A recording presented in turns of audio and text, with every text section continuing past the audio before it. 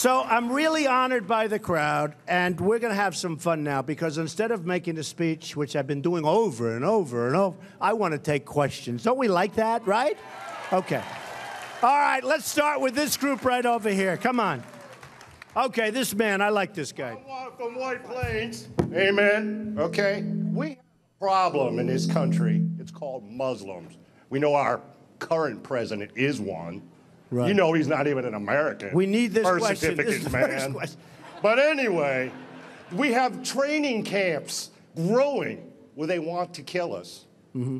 That's my question. When can we get rid of We're going to be looking at a lot of different things. And, you know, a lot of people are saying that, and a lot of people are saying that bad things are happening out there. We're going to be looking at that and plenty of other things. Their sons, their daughters killed by illegal immigrants. And it's a massive problem. We have to stop illegal immigration. We have to do it. We have to do it.